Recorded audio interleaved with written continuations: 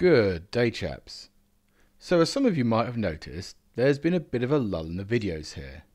This was down to my PC cooking itself, losing a CPU, power pack, and a GPU all in one go.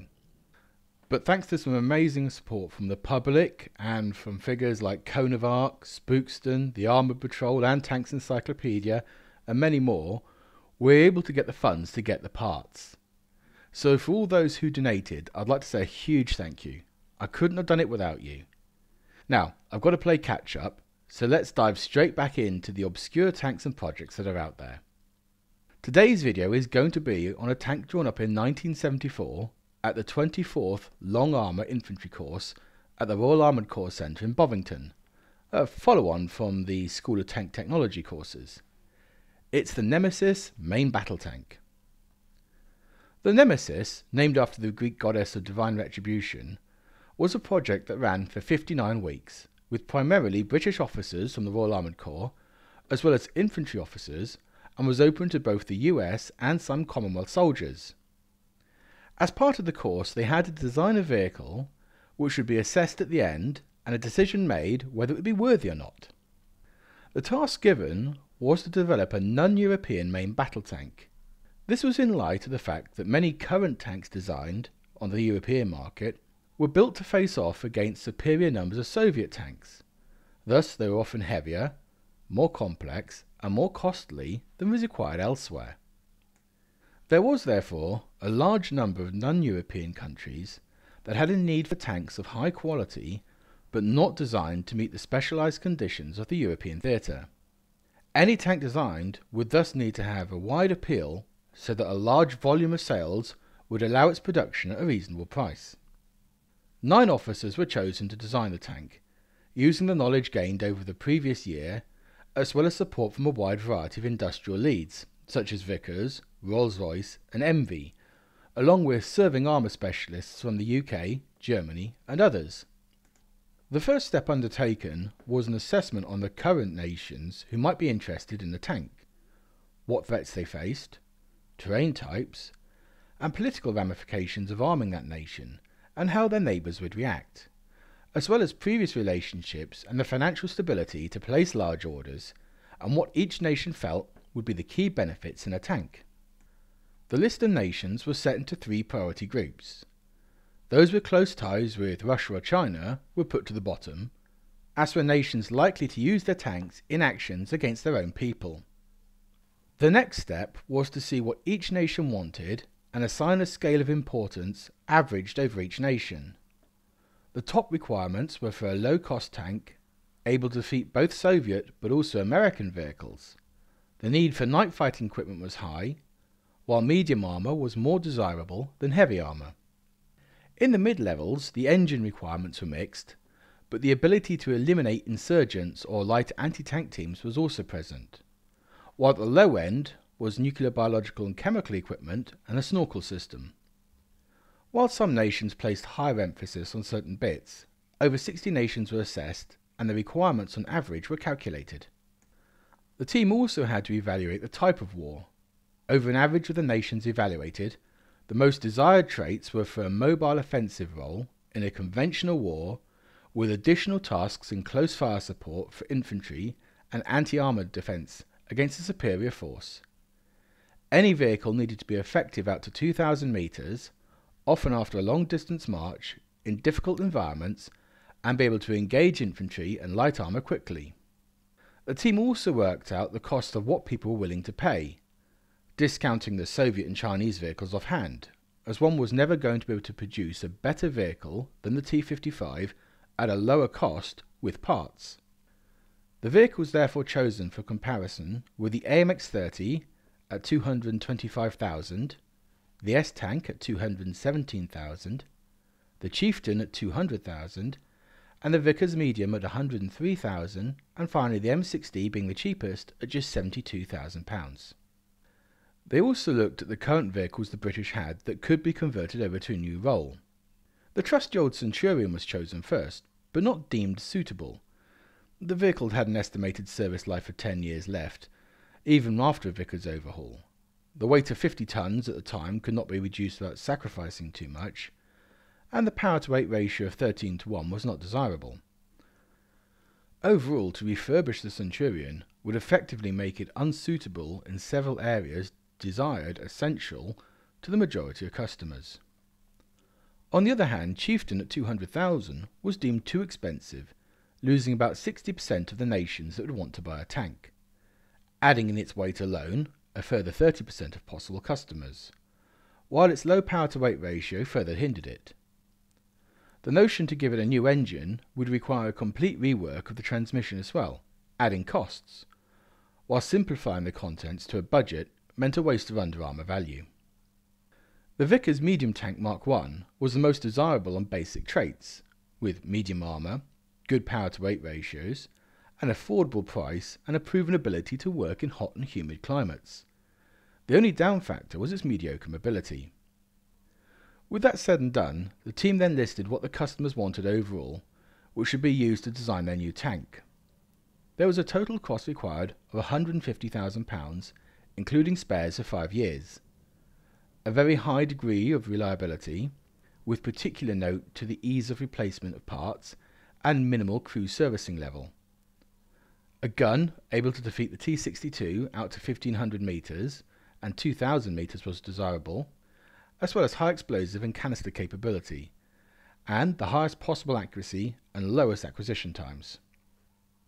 Protection from the Nemesis was to be enough to stop the T-62 at 1500 metres and the sides to stop heavy machine gun and light handheld weapons, with a roof to protect against high explosive bursts and mine protection.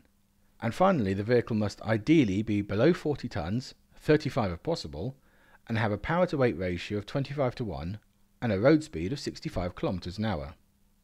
The team then began to work on the Nemesis and looking at features wanted and what could be provided.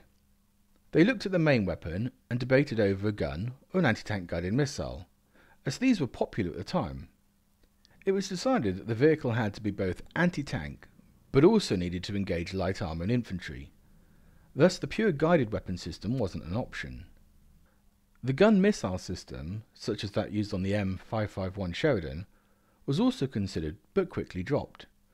Not only would it take up more volume with less ammunition, but it added a layer of complexity and cost that was not needed. Thus a conventional high velocity gun was required. They also debated on whether the vehicle should be turreted or not. This has some pros and cons. The idea of a casemated vehicle was quickly dropped. While a casemated tank might have a few advantages as a tank destroyer in open countryside and in weight savings, it is extremely hampered by its mobility and utterly unsuitable for the potential close fighting and jungle conditions which the customers might want.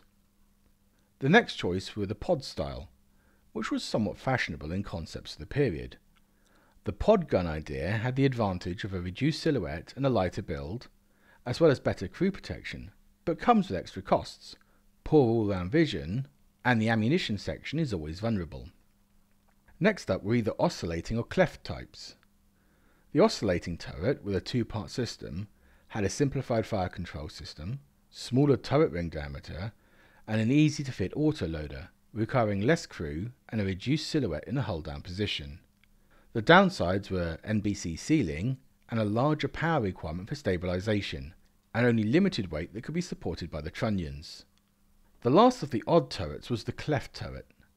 Now, these are quite interesting as both Centurion in the past has been proposed with a cleft turret and the tank that became the Chieftain, originally medium gun tank number 2, also drawn up with a cleft turret, in which the turret is split with the gun in the middle traversing up and down. This offers a low silhouette in hull down positions and low weight ratios, but creates vision and loading issues. The pros and cons went back and forth and even discussed the driver and turret concept, which has been considered for some future main battle tank ideas. However, the issue here is that the driver has problems with the turret facing to the rear. This requires either a built-in counter-rotating sub-turret or a series of vision devices such as CCTV attached to the front of the tank to let him see when in reverse. This idea was also dropped as it would add complexity and cost to the tank and require a degree of skill that might be out of limits for some nations. Ultimately, the deciding factor for many of these was also that the vehicle may well need to be built as a bridge layer or an AVRE, with overhead bridges. all of which make the more interesting turret layouts more or less redundant. The choice of guns were listed as well.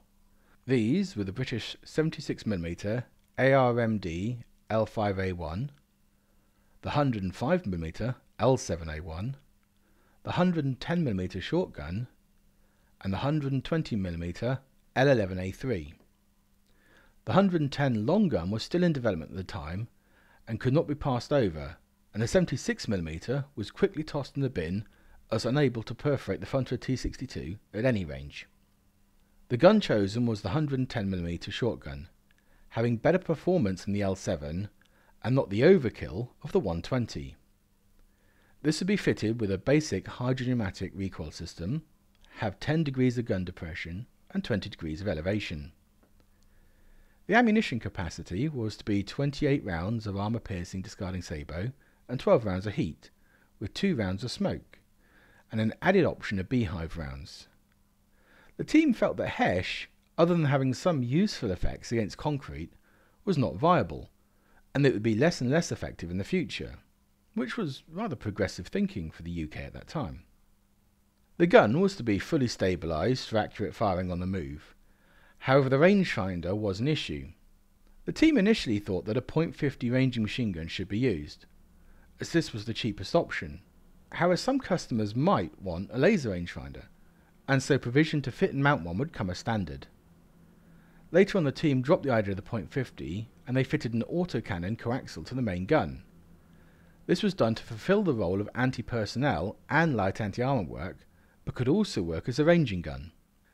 This coaxial cannons were considered, and they looked at 20mm, 25mm, and the 30mm Rarden.